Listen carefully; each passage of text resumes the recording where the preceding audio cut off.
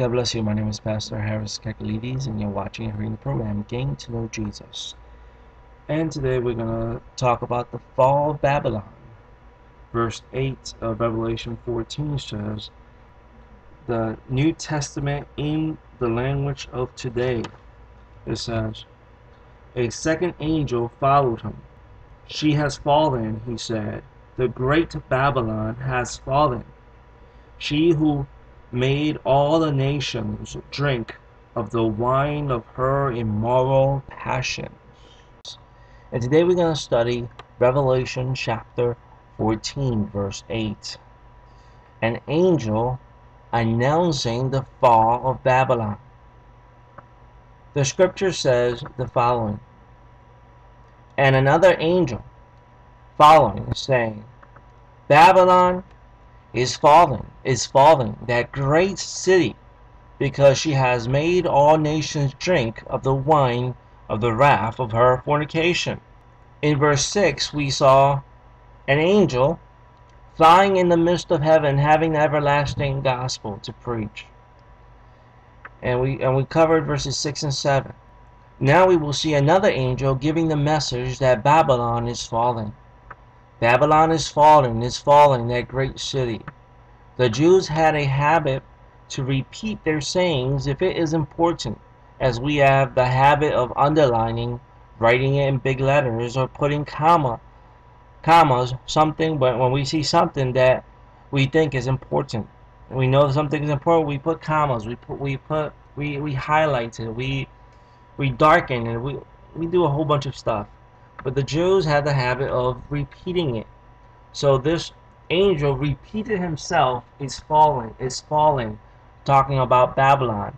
To show this is important, we're going to see some examples of um, the Old Testament when it repeats himself. Nahum 1 verse 2.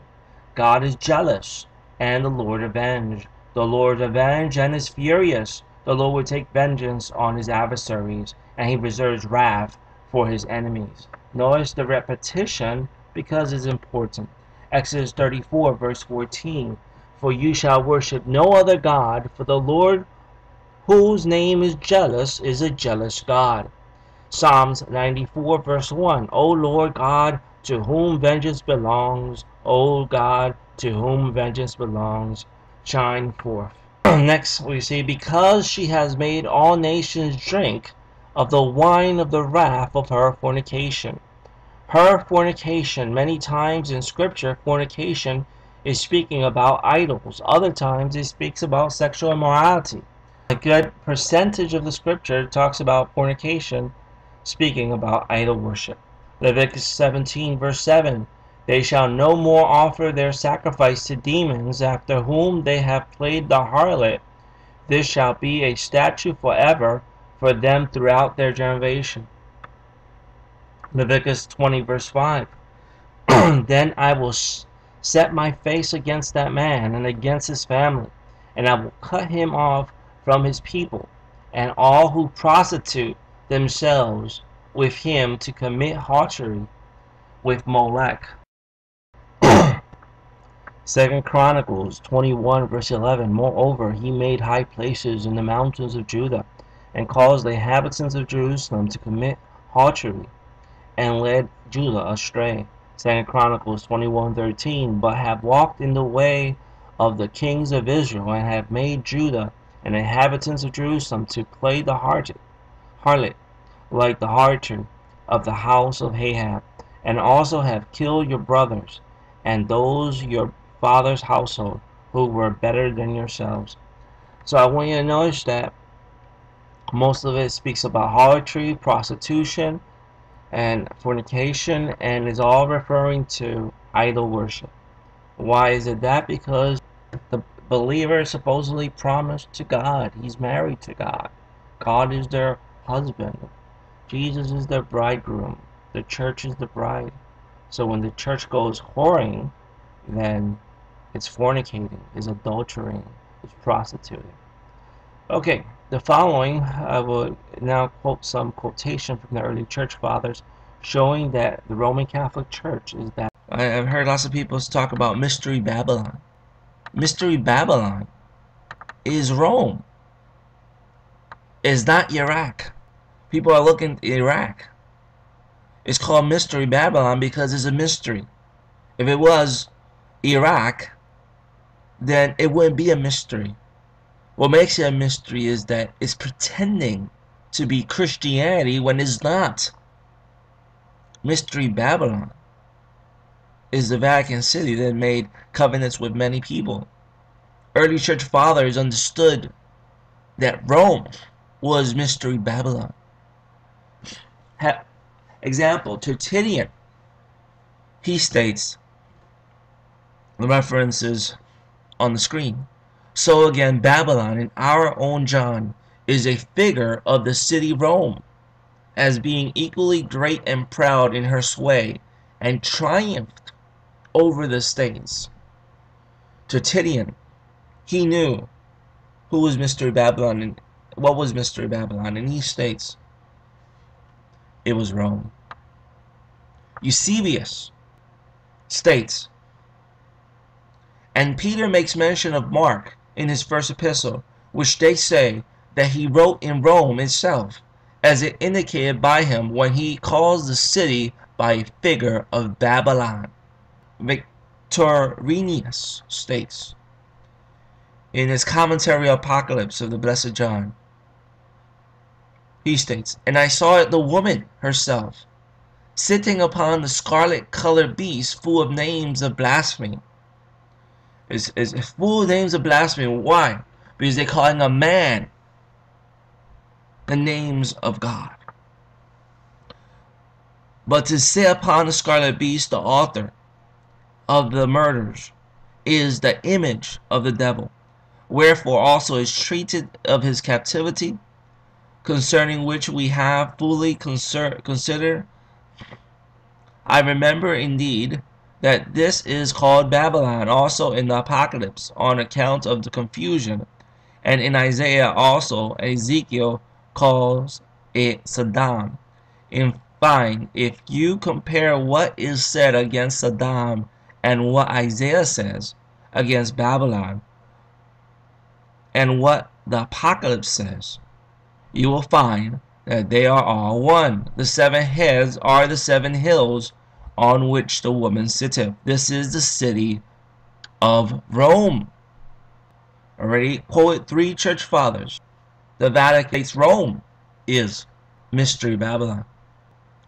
Now I'm going to quote Jerome. He states in a letter. He states, For Babylon the Great is fallen, is fallen, and is become the habitations of devils, and behold, of every foul spirit. It is true that Rome has a holy church, trophies of apostles and martyrs, a, a true confession of Christ at that time. They had all these things. The faith has been preached there by an apostle. Heathenism has been trodden down. The name of Christian is daily exalted higher and higher. But the display, power, and size of the city the seeing and the being seen, the paying and the receiving of visits, the alternate flattery and distraction, talking and listening, as well as the necessity of facing so great a throng even when one is least in the mood to do so. All these things are alike foreign to the principles and fatal to the repose of the monastic life. But when people come in our way, we either see them coming and are compelled to speak, or we do not see them and lay ourselves open to the charge of haughtiness. But I want you to notice Jerome also thought it to be the city of Rome. Mystery Babylon is the city of Rome. As long as one accepts Benedict XVI's new religion, or accepts Benedict XVI and his apostate bishops as Catholics, while they teach that Jesus Christ and the Catholic faith are meaningless. It is predicted in Catholic prophecy that in the final days there will be a massive apostasy from the Catholic faith from the city of Rome itself. This is because it comes from anti-popes who are posing as true popes and who have created a counterfeit sect. Our Lady of La Salette, France, September 19, 1846, quote, Rome will lose the faith and become the seat of the Antichrist. The church will be in eclipse. Our Lady of La Salette tells us that Rome will lose the faith and become the seat of the Antichrist, and that the church will be in eclipse. This coincides with the prophecies in sacred scripture, Apocalypse 17 and 18, that the city of seven hills, Rome, will become a harlot. The great harlot prophesied in the Bible is not the Catholic Church, it is the counterfeit Catholic Church, the Vatican II sect, the apostate phony bride, which arises in the last days to deceive Catholics and eclipse the true church which has been reduced to a remnant. We can see that Our Lady's message at La Salette, France has been fulfilled before our very eyes. Benedict XVI and the Vatican II sect teach that Jews are perfectly free not to believe in Jesus Christ. This is published in Benedict XVI and the Vatican's own books. It proves that Rome has become the seat of the Antichrist. Our Lord also indicates in the last days there will be the abomination of desolation in the holy place, Matthew 24:15. He tells us that there will be a deception so profound that if it were possible, even the elect would be deceived. He even asks if there will be any faith left on earth. Luke 18, verse 8, quote, But yet the Son of Man, when he cometh, shall he find, think you, faith on earth? This deception will happen in the very heart of the church's physical structures, in the temple of God, 2 Thessalonians 2, verse 4, and the holy place, Matthew 24, 15 and will arise because people receive not the love of the truth. God allows this as the supreme punishment for the world's sins. We are currently living through this apostasy and deception. People need to completely reject anti Pope Benedict XVI, the new Mass, and the new apostate Vatican II religion. 1969, Paul VI replaced the traditional Latin Mass in Vatican II churches with his own creation the new Mass or Novus Ordo. Since that time, the world has seen the following in the Vatican II churches, which celebrate the new Mass or Novus Ordo.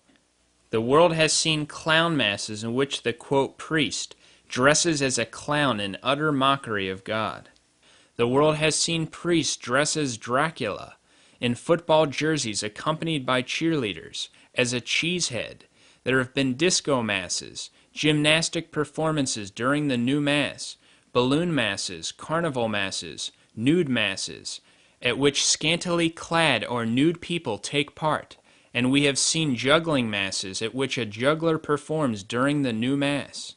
The world has seen priests celebrate the new Mass with Dorito chips, with Mountain Dew, on a cardboard box with cookies, with Chinese tea accompanied by ancestor worship, with a basketball as a priest bounces it all over the altar, with a guitar as the priest plays a solo performance. The world has witnessed the new Mass with a priest almost totally nude as he dances around the altar, with priests dressed in native pagan costumes, with a Jewish menorah placed on the altar, with a statue of Buddha on the altar, with nuns making offerings to female goddesses, with lectors and gift bearers dressed up as voodoo Satanists, the world has seen the new Mass at which the performer is dressed up in a tuxedo and tells jokes. The world has seen rock concerts at the new Mass, guitar and polka new Masses, a puppet new Mass, a new Mass where the people gather around the altar dressed as devils, a new Mass where people perform lewd dances to the beat of a steel drum band. The world has seen a new Mass where nuns dressed as pagan Vestal virgins make pagan offerings. The world has also seen new masses incorporating every false religion. There have been Buddhist new masses, Hindu and Muslim new masses, new masses where Jews and Unitarians offer candles to false gods. There are churches where the entire congregation says the Mass with the priest, where the priest sometimes talks to the people instead of saying Mass. What we have cataloged is just a tiny sampling of the kind of thing that occurs in every diocese in the world where the new Mass is celebrated.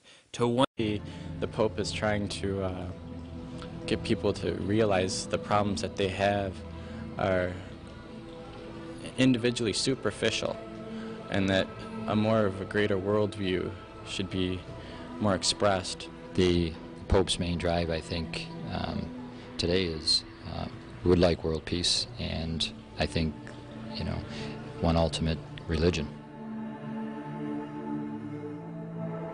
In 1986, at Assisi, Italy, Pope John Paul invited 130 leaders of the world's major religions to join together to pray for peace.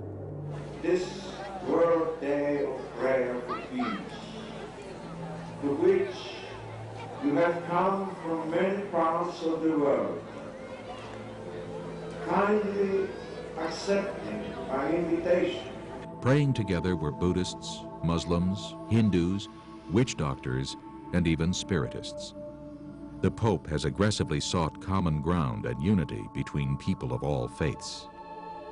The Bible also alludes to the leadership of the city of Rome, especially in an ecclesiastical sense, and the rise of the Vatican in a role to be a leader of an ecumenical movement sounds absurd if you've studied the narrowness and the folk and the conservativeness, if you will, of, of Catholicism over the last thousand, fifteen hundred years, what have you, to predict that Rome would be a leader in the New Age sense or in the pantheistic sense sounds manifestly absurd.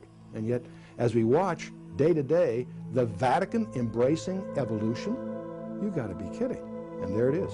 So the point is, the more you study these major themes in the Bible, and the more you take the trouble to try to get the horizon, the world horizon in perspective, the more it seems we are heading right into that period that the Bible has so much to say about.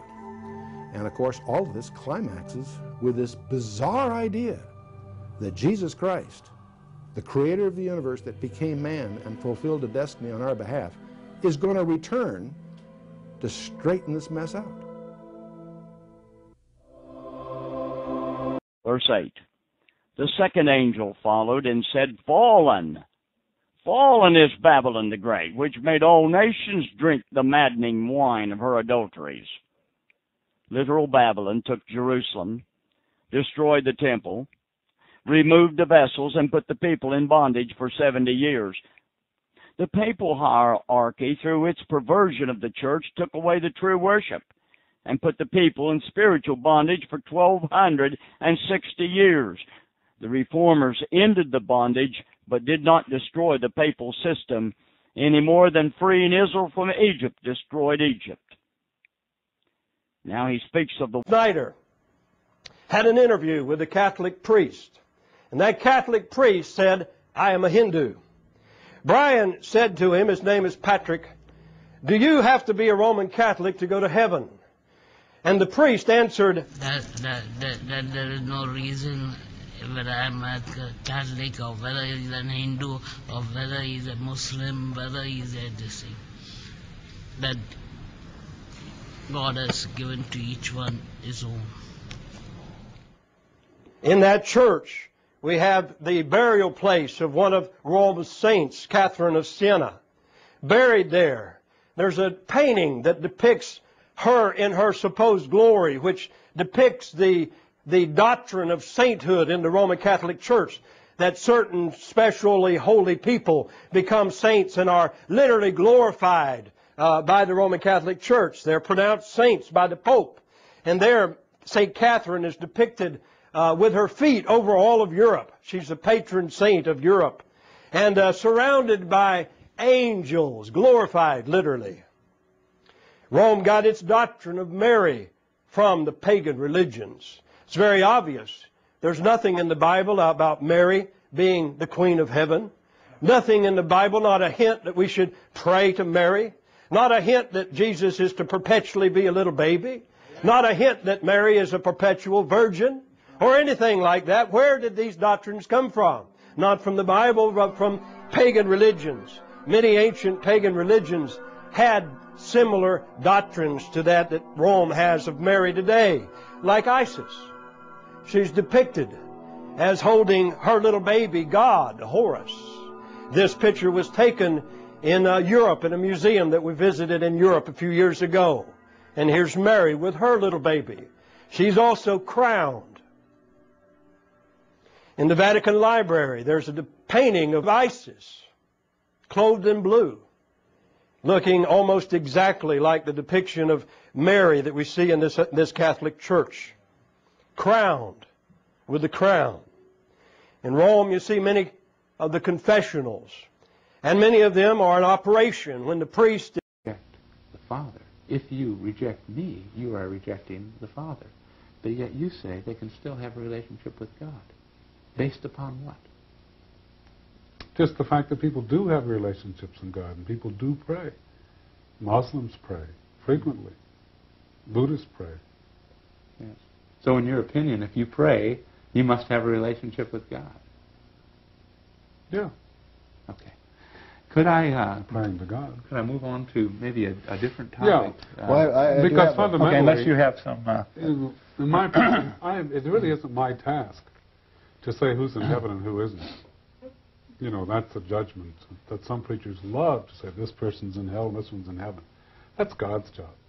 My job is to talk about the Scripture, to preach what God has revealed, but not in that incredibly judgmental way of dividing up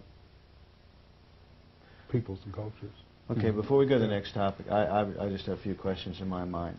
Um, now, you believe that the Bible is the Word of God, mm-hmm. and so you would not disagree with what the Bible has to say. Is that true?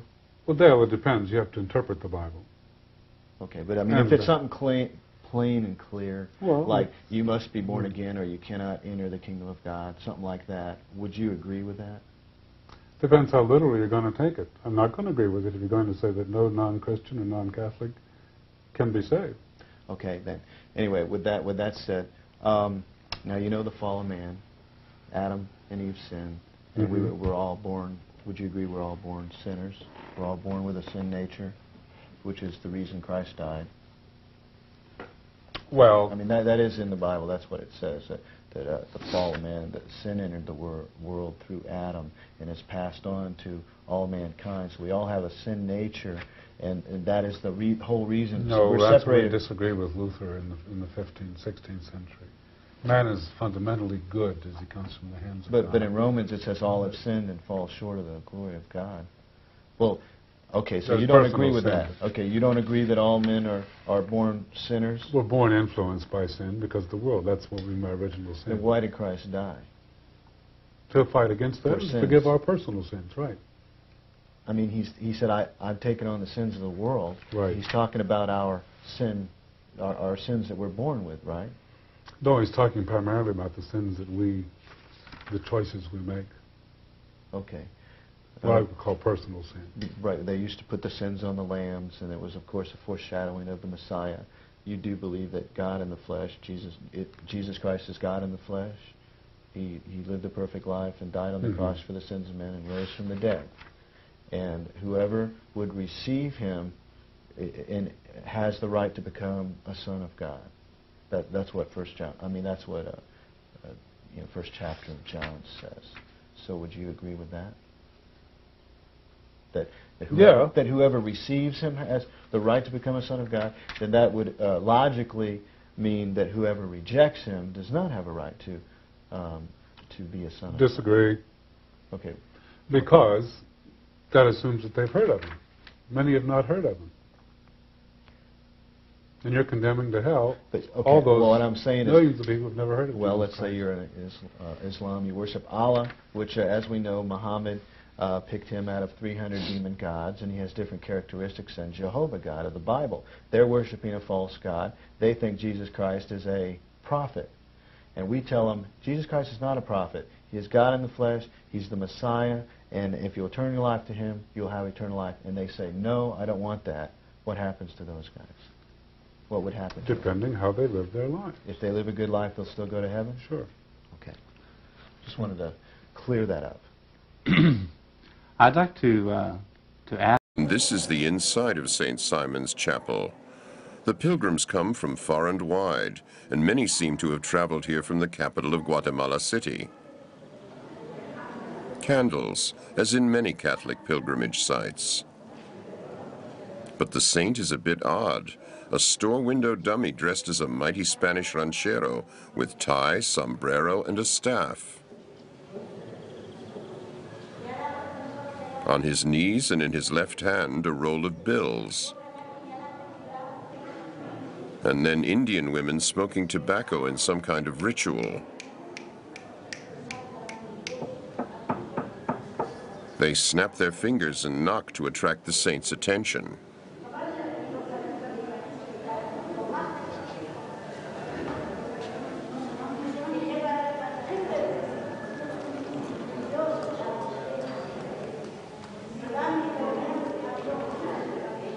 Votive plaques on the walls all around us, all thanking St. Simon for his miraculous doings. But the saint being worshipped here is actually an old Indian deity, Maximon. People walk away from him backwards. And here, all the way over on the side in the glass cabinet, the Christian Saint Simon the carpenter. The Catholic Church has simply adopted a heathen cult to worship a Christian saint.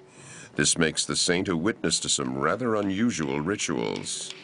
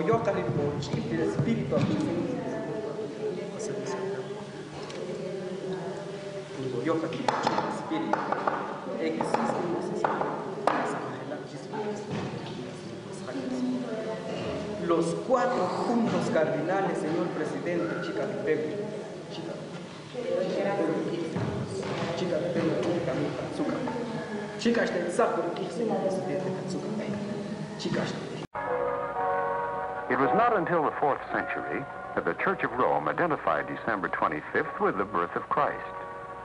But once the date was officially set by Rome, devoted missionaries carried it along with the gospel beyond the borders of the known world. New religion.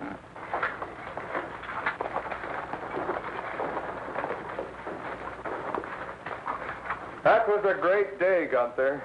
In spite of the snow and the howling of wolves. It was a moving ceremony, Father. My people love the story of the manger. Especially the little ones.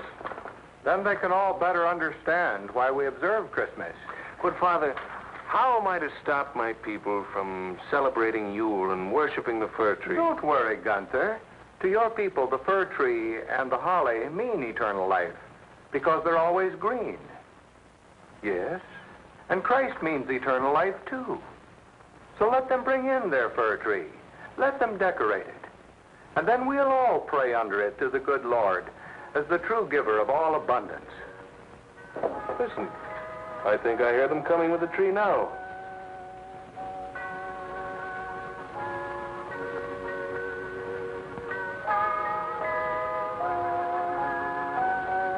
From tent to tent, from one German tribe to another, the Yule tree and holly turned into the Christmas tree and the Christmas holly.